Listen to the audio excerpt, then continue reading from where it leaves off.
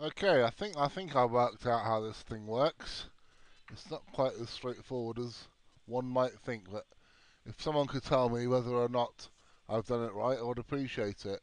Right, the first thing I did was I went into configure and I configured my uh, main station.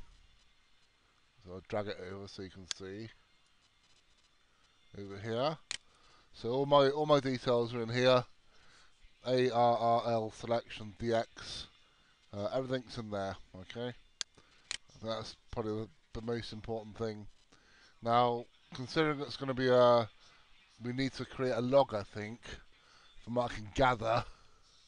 So I went into File, create new log in database.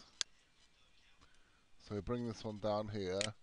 So uh, let me have a look. Um, right, DX log type DX, single operator, yes, all band, power high, mode, no, it's just SSB, overall category, uh, what's this? Uh, I think that's just for, uh, I'm not sure what that is, I'll leave that. Show rules into that, uh, I'm not sure what that overall category is. Sent Exchange, I'm not sure what that is. Sent Exchange. My call sign. Alright, so if we change uh, the date to the start, which would be, I think it was a, what's the date? One, two, first on Thursday, second, third, isn't it? Zero, three, zero, three. I think I'll omit.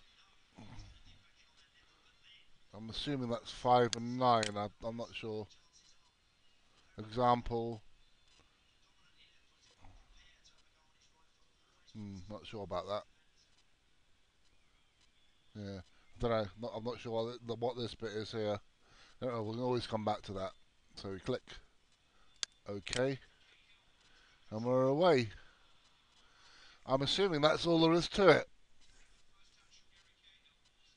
Someone could let me know if I've done that right. I would appreciate it.